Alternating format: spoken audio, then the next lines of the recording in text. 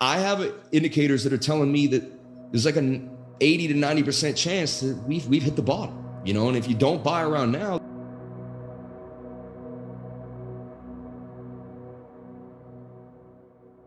Hello everyone, today our guest is Sam Price, as known as Crypto Lifer. He is a full-time trader and a YouTuber.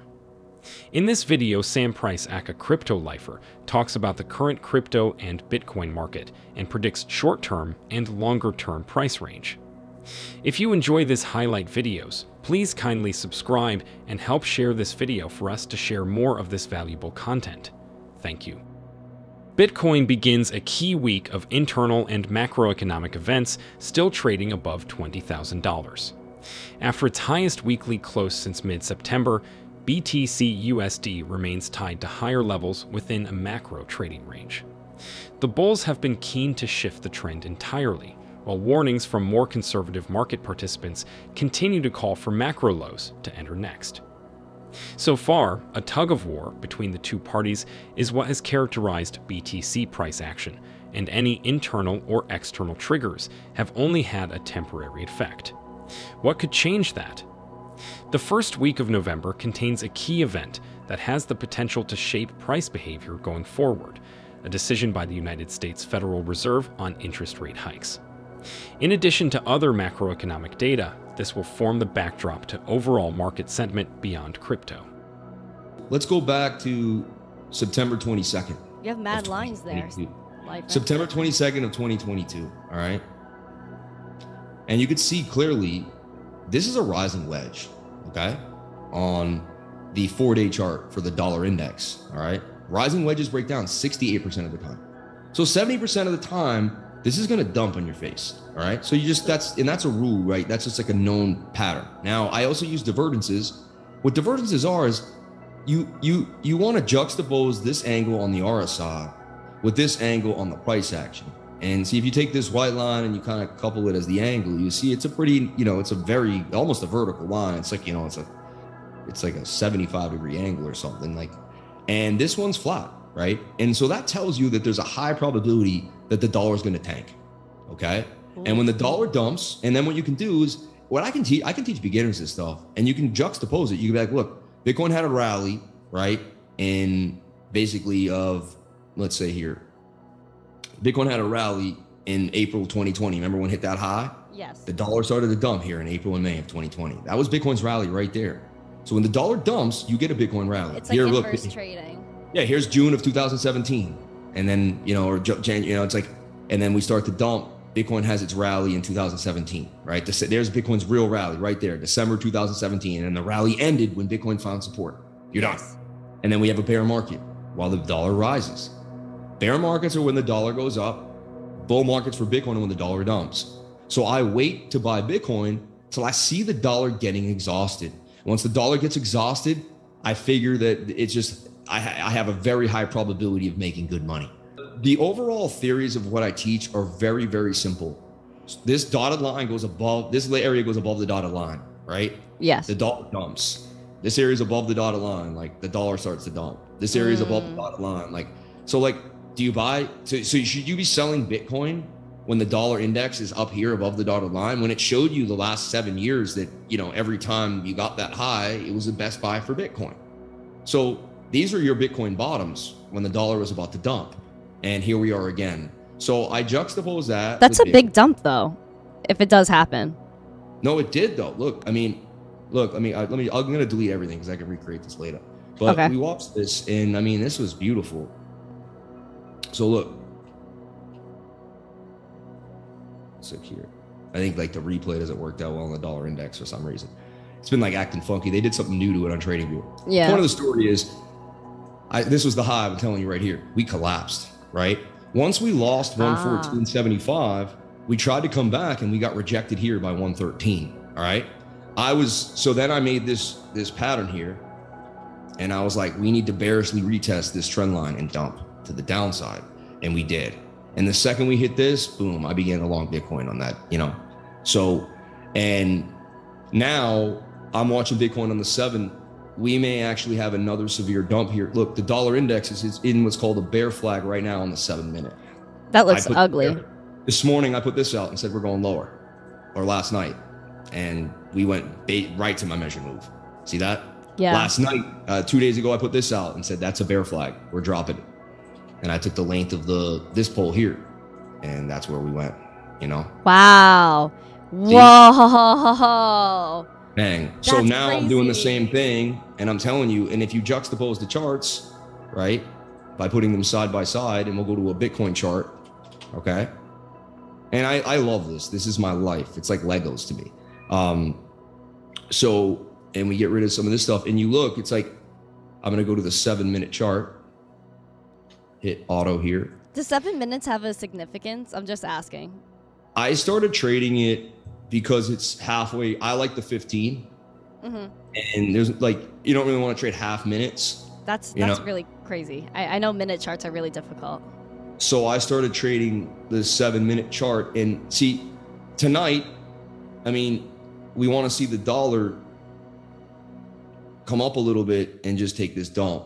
And if this dumps down, I mean, we're gonna get another pump for Bitcoin up to about twenty one thousand four hundred area, right? Oh. So it could get a little juicy tonight. Eventually, we're going to cool off, of course. Like you don't run up forever, but it's it's getting zesty. I'll tell you that. Says Zesty you. faux show. I know we know? hit 20 today. Do you think we can maintain this? Because I don't know. I'm just so sick of like seeing like Bitcoin It's this right here. I'm- 20 I'm telling you. fall through. Well, look, we have what's called in crypto and trading in general an SR flip, which is called a support and resistance flip. Yeah. You'll have a resist, resistance, resistance. You get above it, now you're using it as support. Mm. And I see an inverted head and shoulder here now, which tells me there's a 70% chance, 68, that we are going to break out of this to the upside and that we will go further than this high here. What you're looking for, because we could come up and make the M. We make the M, the M will dump us. Okay. Yeah. So we got to basically tonight or by tomorrow, like two in the afternoon, Bitcoin's got to close a candle above 20,994 to remain bullish. If it doesn't close a candle in the four hour or the daily tomorrow night by 8 p.m. at about 29.94, because it has 24 hours really, right? Yeah. So it, that means it's going to, yeah, you know, it's like, but if we see a nice decisive pump and a bounce, I mean, so this, that's why I trade the 15 and the seven. They give you the fa- it's it's basically they give you the fastest response. The four hours overbought, the RSI is high, and you have tweezer tops. That's highly likely you're going to it's a dump. Yeah. It's very likely, right? I look at the small time frames because in my lifetime, I've just been like, yeah, I'll short that. And the small time frame short squeezes you and you end up getting rocked. So I can teach people how how to basically not get leveraged out of the trade. And I use Bookmap doing that. This is Bookmap, and Bookmap will show me like liquidity areas, right? Oh So, wow. like, all day we had huge liquidity up here. And so what I'll do is, and that's that's someone who just got liquidated right there for seven thousand dollars. That's three accounts just got liquidated right now. Like that person just these are all short liquidations. What? These are all people who shorted the market today and they got absolutely wrong. 16,000, 29,000. It looks like the chart solar system over here. What am I looking at? Yeah. what is this? Yeah, so this is showing me where the orders are on the order book, right? Wow. So this is Binance Futures. It's telling me this guy wants to buy 523 Bitcoins at 21,100. But this dude wants to buy 600 Bitcoins and another 449 at 20,006. The heat map shows me that there's more Bitcoin wanted to be bought than sold.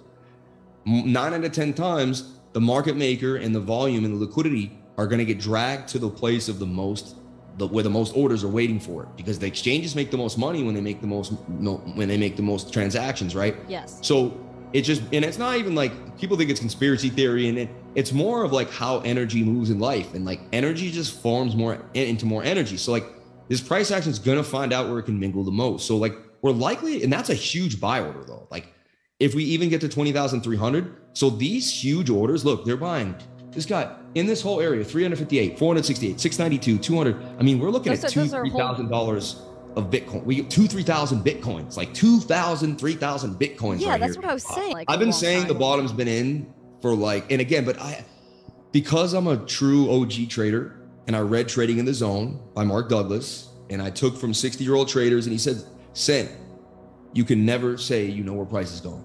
That's the biggest no no as a trader. So I can't tell you the bottom's in. What I can do is I buy Bitcoin in front of you.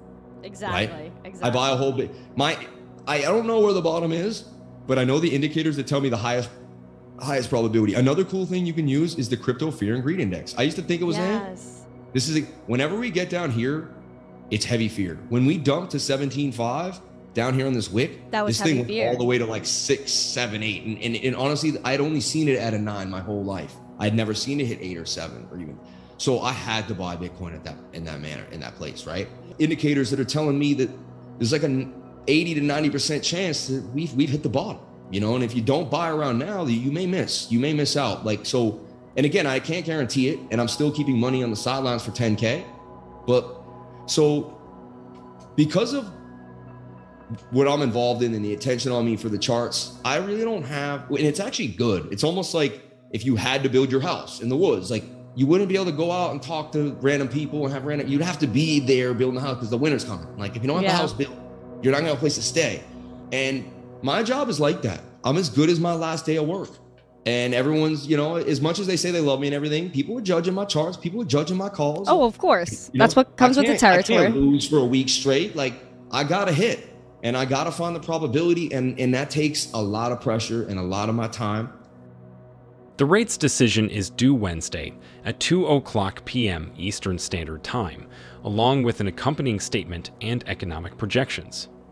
Fed Chair Jerome Powell will then deliver a speech at 2:30 p.m. Eastern Standard Time, thus completing the backdrop to market reactions. As Cointelegraph reported, there is already talk that subsequent rate hikes will begin to trend toward neutral, marking the end of an aggressive policy enacted almost a year ago. For Bitcoin and risk assets in general, this could ultimately provide some serious fuel for growth as conditions loosen. If you enjoy this highlight videos, please kindly subscribe and help share this video for us to share more of this valuable content. Thank you.